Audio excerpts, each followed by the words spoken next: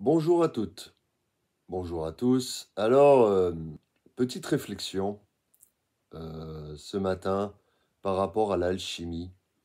Qu'est-ce que l'alchimie? L'alchimie, c'est, tel que je le vois, euh, la sensation de semer plein de petites graines partout dans notre vie et de voir avec le temps et le soupçon d'intention, d'émotion, de mental qu'on envoie, laisser germer ses graines dans un sens ou dans un autre. On ne peut pas prévoir avec l'alchimie ce qui va se passer réellement. On ne peut pas, euh, euh, si vous êtes dans un état de colère, par exemple, euh, vous risquez hop, de produire quelque chose qui vous, va vous tomber dessus, qui sera négatif. On peut parler de cause et de conséquences finalement. Voilà. La cause, vous avez été en colère.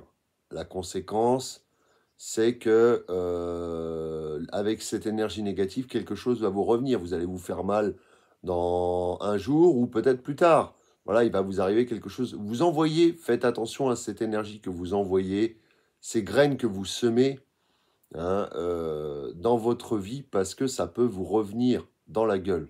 Voilà. Je pense que cette alchimie, c'est de faire preuve de, de détermination dans le fait de semer la graine et après de laisser la vie s'en charger avec douceur, avec simplicité et en ayant confiance et foi en la vie finalement, euh, de voir comment la magie va opérer et ces graines vont germer. Voilà. Et c'est là que la nature est un livre ouvert finalement. C'est là que la nature est un livre ouvert euh, parce que la nature ne se presse pas, elle prend le temps il faut prendre le temps d'observer les choses, de voir comment elles vont se transformer. Et c'est ça le travail alchimique. Et c'est aussi un travail chimique intérieur qui rayonne à l'extérieur. Voilà. C'est-à-dire, il y a l'alchimie intérieure qui va transformer votre extérieur. Si vous ne transformez pas votre intérieur, vous n'allez pas agir sur l'extérieur. Voilà. C'est une question d'énergie, tout ça, de circulation d'énergie finalement. Et c'est ce que je travaille depuis longtemps. Hein. je commence par l'intérieur. Euh, on veut des fois forcer l'extérieur à changer. L'extérieur ne changera pas tant que vous n'aurez pas changé votre intérieur. Et c'est là que font le, fameux travail des alchimistes sur la matière. C'est aussi un travail intérieur qui rayonne à l'extérieur, l'extérieur qui re-rayonne à l'intérieur, et ainsi de suite avec des va-et-vient comme ça, des contacts avec la matière, finalement, qui transforme, transforme notre intériorité et qui transforme la matière à l'extérieur. Voilà. C'est vrai que je ne me suis pas encore lancé dedans, parce que je suis un peu néophyte en alchimie. Je parle en alchimie matérielle. Voilà. Mais le travail pourrait être intéressant. J'en avais pratiqué euh, étant plus jeune, mais ça m'avait causé des dégâts. Pour expérience, euh, j'avais euh, mis des tas de produits que j'avais pris chez mes parents et euh, j'avais tout mis, j'avais mélangé les produits et tout ça pour voir la réaction que ça allait produire. Résultat, ça a donné un truc un peu dégueulasse, je ne savais pas où j'allais et j'ai du sang qui a coulé par le nez. Je me suis dit, là, on va arrêter les conneries. Hein. on a fait n'importe quoi.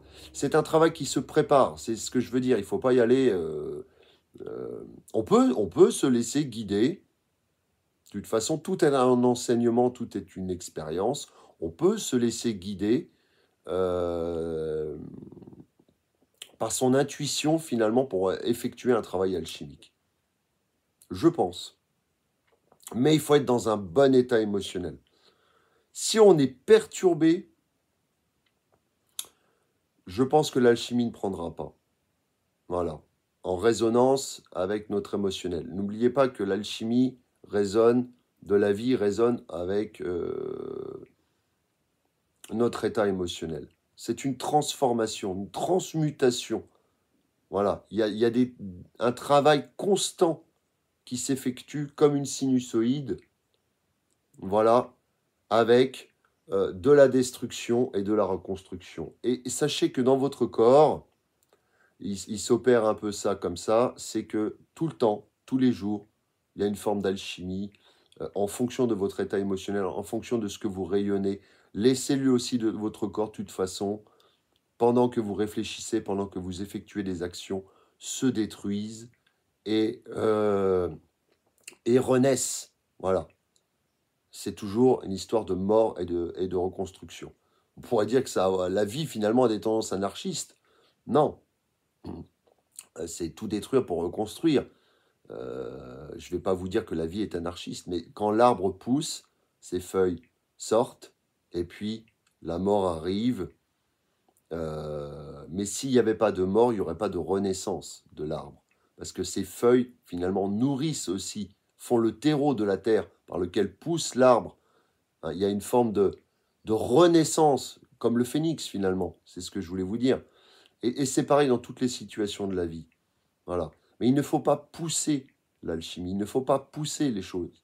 Il faut observer, laisser le temps aux choses d'agir. Vous envoyez une énergie, vous laissez l'énergie travailler, et après vous observez quelle forme prend cette énergie que vous avez envoyée. On pourrait dire, il y a une forme de magie, de toute façon, l'alchimie, c'est vrai que quand, quand, quand on le regarde d'un aspect extérieur, on va se dire, et qu'on on regarde ça de manière empirique, finalement, on va se dire, euh, il y a un côté magique, mais la magie, c'est juste un travail d'énergie, finalement. Et l'alchimie, c'est ça, c'est ces sciences occultes, ces sciences ésotériques, telles que je les vois, et euh, même sur le plan humain. Sur le plan humain, il y a des alchimies qui se produisent. Voilà, il y a du travail qui se produise. Il y a euh, et ça participe à l'évolution. S'il n'y avait pas d'alchimie, s'il n'y avait pas d'événements, et les événements aussi rentrent en, résonance pour nous déstabiliser et changer parfois euh, ce qu'on est en train de créer finalement. Voilà. Hein, vous êtes en train de faire du cross, hop, bah, il y a une voiture euh, qui vous frôle, vous déviez de votre trajectoire. La vie est comme ça, elle est pleine de surprises. Mais euh, quand on est dans un bon état, on ne se laisse pas déstabiliser. C'est, on garde le contrôle finalement. Mais la vie nous teste.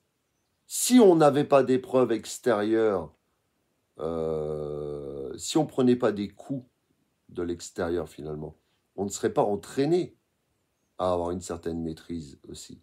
C'est ça. Et euh, peut-être que je m'égare, mais vous, voyez où je veux en venir finalement. Voilà. Enfin, si vous arrivez à suivre, je sais que je suis parti assez loin.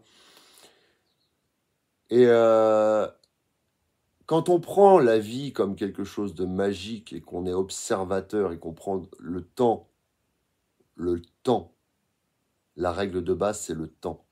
Même en ne faisant rien, quelqu'un, on croit que la personne ne fait rien, et en fait, elle travaille à l'intérieur. Voilà. Ah, c'est sûr, vous allez me dire, si une personne regarde la télé, ouais, là, le travail alchimique, il n'opère pas tellement. Et encore, j'ai envie de vous dire, elle rentre en résonance avec quelque chose. Voilà. Je pense qu'en fait, quelqu'un, on ne peut pas... Pardon. On ne peut pas dire qu'une personne ne fait rien. Même quelque part un corps, une personne qui est décédée quelque part, il y a un travail alchimique qui s'opère sur son corps. Voilà.